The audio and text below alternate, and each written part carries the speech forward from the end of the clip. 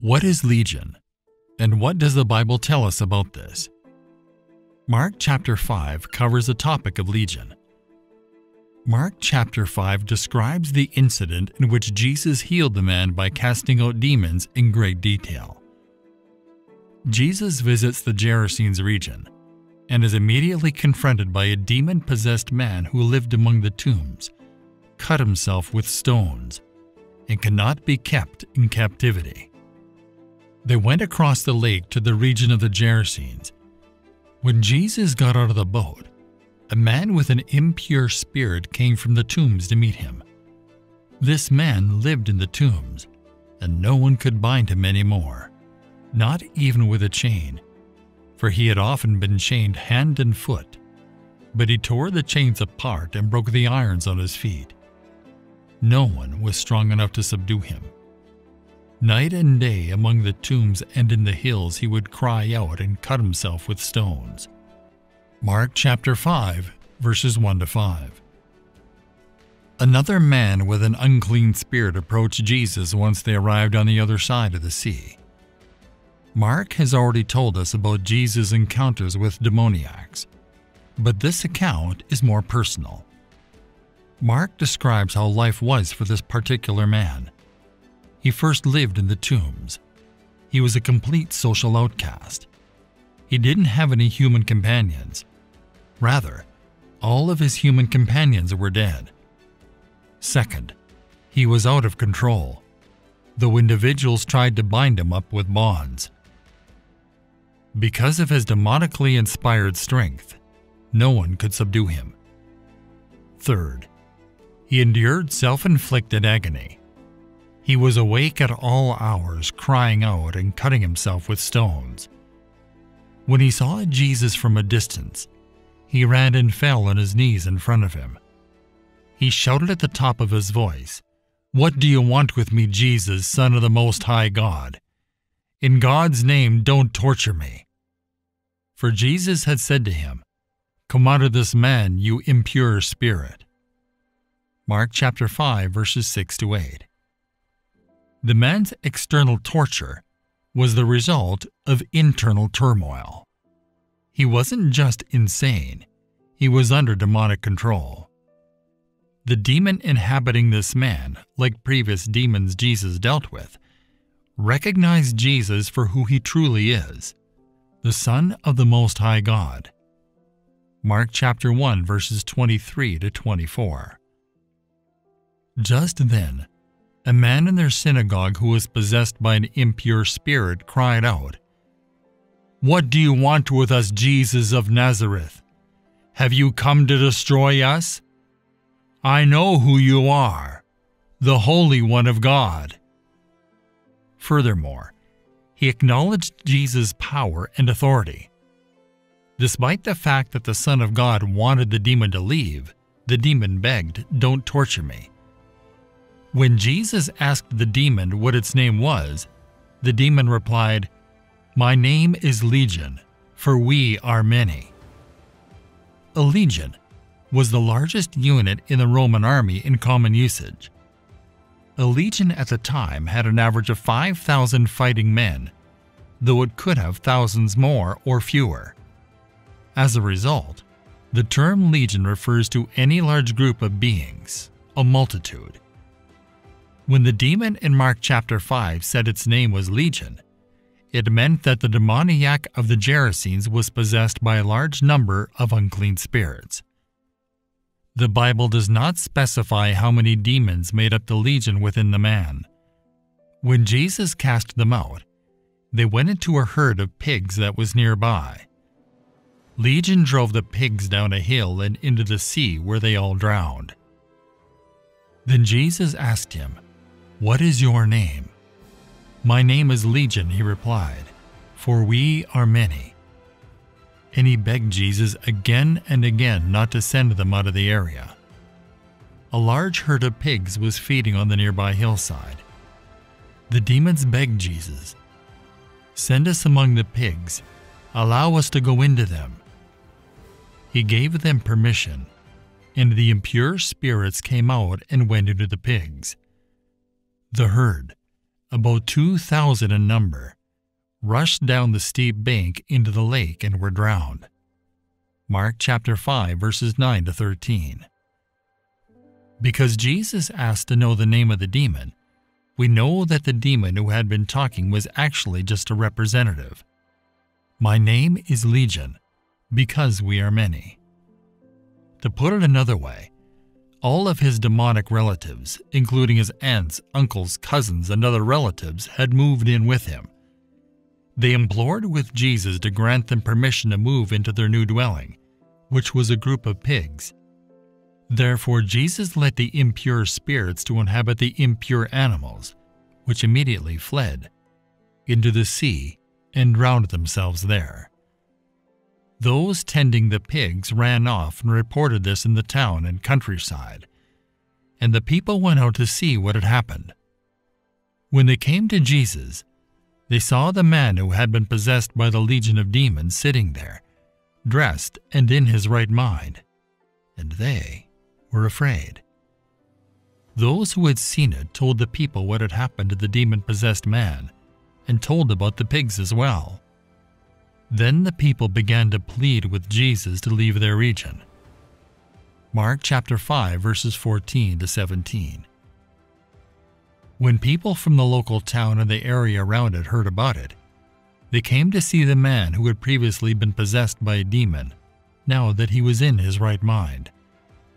No more living among the tombs, no more shackled hands and feet, no more bleeding from his own hands, but how did these people react to such a magnificent healing? They pleaded with Jesus to leave their area. Why? Mark claims that they reacted this way after learning about the man and the pigs, 2,000 pigs to be precise. All of that pork cost a lot of money. If Jesus kept doing things like this, he'd destroy the local economy. It's worth noting that their livelihood was more important to them than the release of a human from demonic oppression. They valued material possessions over spiritual ones. Because it served his purposes, Jesus had no reason not to accept the Legion's proposal. First, it resulted in the freedom from the demons. Second, pigs were deemed unclean animals under Jewish law, making them a perfect symbol and safe haven for demons.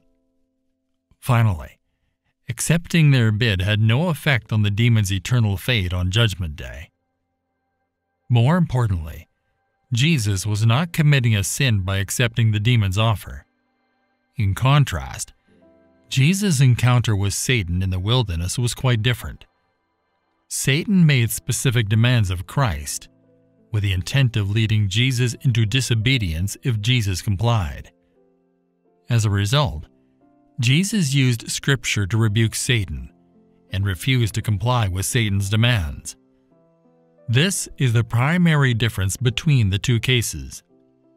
In Matthew chapter 8, the demon's request did not cause Jesus to sin, whereas Satan's demands on Jesus were intended to cause him to sin. Demons were well aware of who Jesus was, Son of God, and of their impending doom. This serves as a reminder that the kingdom of darkness and light are quite aware of the judgment. This does not explain why the demons begged to enter the swine. It's possible they didn't want to leave the area where they'd been successful in wreaking havoc on the people. Perhaps they were drawn to the filthy animals because they themselves were filthy. The demons may have made this strange request because it was their last chance to avoid confinement in the abyss, where evil spirits perish. Revelation chapter 9 verses 1 to 6. And the fifth angel sounded, and I saw a star fall from heaven under the earth, and to him was given the key of the bottomless pit. And he opened the bottomless pit, and there arose a smoke out of the pit, as the smoke of a great furnace. And the sun and the air were darkened by reason of the smoke of the pit. And there came out out of the smoke locusts upon the earth, and upon them was given power, as the scorpions of the earth have power. And it was commanded them that they should not hurt the grass of the earth, neither any green thing, neither any tree, but only those men which have not the seal of God in their foreheads. And to them it was given that they should not kill them, but that they should be tormented five months. And their torment was as the torment of a scorpion when he striketh a man. And in those days shall men seek death, and shall not find it, and shall desire to die, and death shall flee from them. As Jesus was getting into the boat, the man who had been demon possessed begged to go with him. Matthew chapter 5 verse 18. This particular chapter has been filled with begging. The demons begged Jesus not to torment or expel them from the area. They then begged to be led into a herd of pigs. The people begged Jesus to leave. However, we see some God honoring begging here. The man who had been possessed by a demon begged Jesus to let him stay with him. He knew Jesus had delivered him, and he didn't want to abandon him. Jesus did not let him, but said, Go home to your own people and tell them how much the Lord has done for you and how he has had mercy on you. So the man went away and began to tell in the Decapolis how much Jesus had done for him, and all the people were amazed. Mark chapter 5 verses 19 and 20. Jesus had other plans for the man. Go home to your own people and report to them how much the Lord has done for you. In other words, go home to those who knew you and give God the glory for who you are now. And so the man did it throughout Decapolis's ten cities. Everyone was amazed when he told them how much Jesus had done for him. Given his background, he was most likely a fairly well known individual. Those who knew him needed to hear his testimony to understand what happens when God's kingdom enters a person's life. People in your life need to hear what Jesus has done for you if you are a Christian. About 2,000 pigs were slain. This detail implies that a Legion was made up of around 2,000 demons the afflicted man's untamable nature and great strength, strength that, of course, was no match for God, could be attributed to the large number of demons. A legion is mentioned again in the context of spirit beings, this time of good angels. When Jesus was arrested, Peter pulled out a sword and wounded a member of the mob nearby. Jesus bandaged the wound and told Peter to put his sword away. Matthew chapter 26 verses 51 to 53. And suddenly, one of those who were with Jesus stretched out his hand and drew his sword, struck the servant of the high priest, and cut off his ear. But Jesus said to him, Put your sword in its place, for all who take up the sword will perish by the sword. Or do you think that I cannot now pray to my Father, and he will provide me with more than twelve legions of angels. The Lord reminded Peter that if he needed assistance, he could request more than twelve legions of angels. That could be up to 60,000 angels. But that wasn't the point Jesus was making. Rather, it was to remind the terrified disciples that God is always in control of all circumstances, even during the horrifying injustice of his own son's murder. It's interesting to note that the Bible refers to legions of both holy angels and demons. Legion is a military term that fits several biblical descriptions of spiritual warfare. Daniel chapter 10 verses 4 to 13.